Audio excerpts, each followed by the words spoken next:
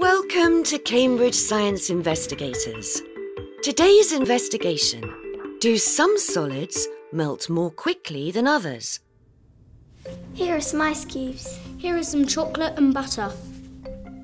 These are all solids. Our investigators are going to heat each solid and see how long it takes to melt and change into a liquid. I think the butter will melt first. Mm, I'm not sure. Which solid do you predict will melt first? Which will melt second? And third? Let's investigate and find out whether your prediction was correct. Before they start, our investigators need to make a plan.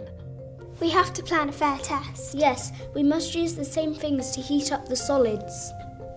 They are going to heat each solid and measure the time it takes to melt.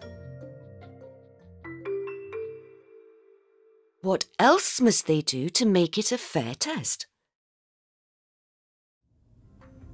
Here are the ice cubes, butter, and chocolate. They're all the same size for a fair test. And we use the same pan to heat each one.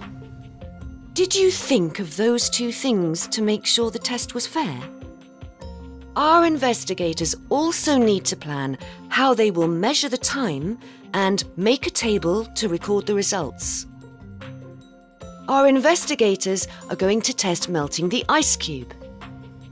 One of them has put the ice cube in the pan. The other is timing how long it takes to melt. Our investigators started timing as soon as they put the ice cubes in the pan. The ice cubes have started to melt already. Look, the ice cubes have completely melted. It's 54 seconds. I'll record the time. Now it's time to melt the chocolate. The chocolate's taking a lot longer to melt. This smells good. It's already longer than the ice cube. The chocolate's completely melted. How long did it take?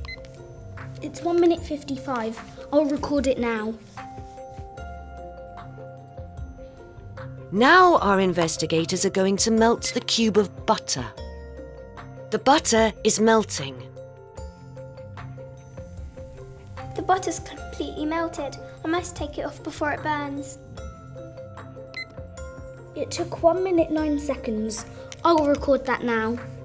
Our investigators are recording how long it took for the butter to melt. Thanks for watching.